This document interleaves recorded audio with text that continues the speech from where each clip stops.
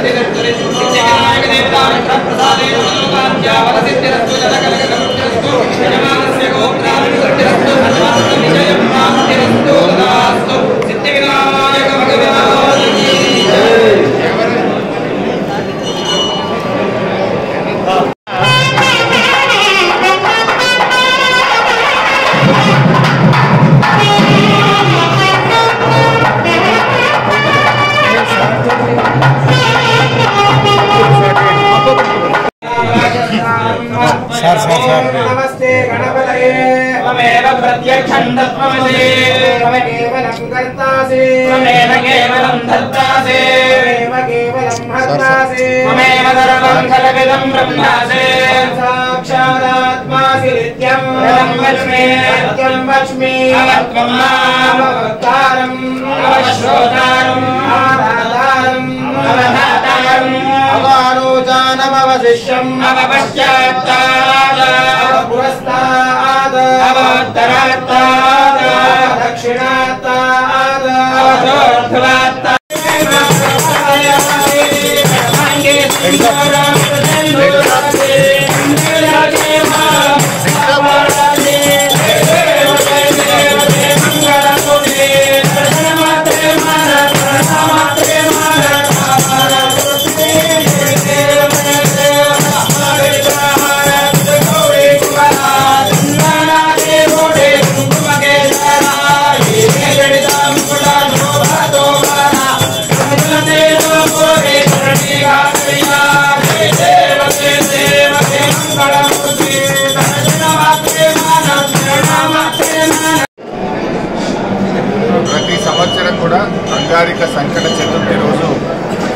జహీరాబాద్ దగ్గర ఉన్న రేచింతన్ సిద్ధి వినాయక స్వామి టెంపుల్లో పెద్ద ఎత్తున పూజా కార్యక్రమాలు భక్తులు జరుగుతూ ఉంది.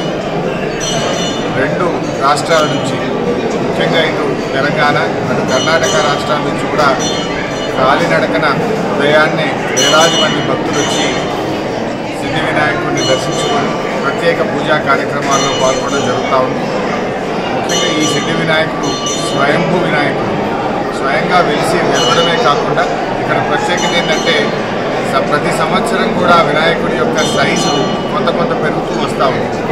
వినాయకుడికి పెట్టేటువంటి ఆ కవచం ప్రతి సంవత్సరం ఒక ఇంచు రెండు ఇంచులో పెంచి పెట్టవలసినటువంటి పరిస్థితి.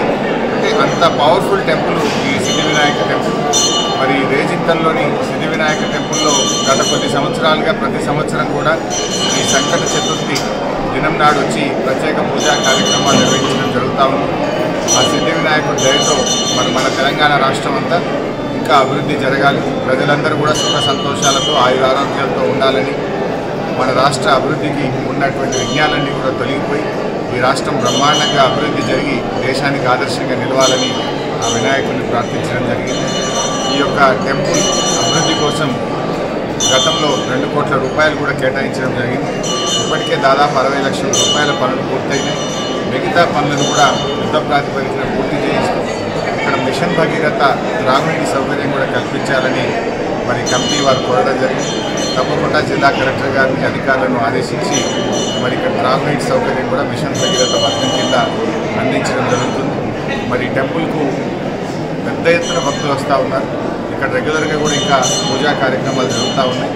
ఇక్కడ అవసరమైనటువంటి ఇతర వసతులు ఈ టెంపుల్ పరిసర ప్రాంతాల్లో ఫుట్పాత్ సౌకర్యం కానీ వచ్చేటువంటి భక్తులకు ఉండడానికి అవసరమైనటువంటి ధర్మశాల కానీ ఇతర కార్యక్రమాలన్నీ కూడా మరి రాష్ట్ర ప్రభుత్వం నుంచి కూడా కొంత మంజూరు చేసి అభివృద్ధి చేయడం జరుగుతుంది.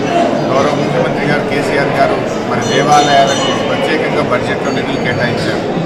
గతంలో ఎప్పుడు కూడా రాష్ట్ర ప్రభుత్వం నిధులను దేవాలయాలకు ఖర్చు పెట్టే పరిస్థితి కానీ తెలంగాణ రాష్ట్రం వచ్చిన తర్వాత ఈ రాష్ట్రంలోని మరి దేవాలయాల అభివృద్ధికి పెద్ద ఎత్తున నిధులు రాష్ట్ర ప్రభుత్వ ఖజానా నుంచి కూడా సమకూర్చడం జరుగుతూ ఉంది.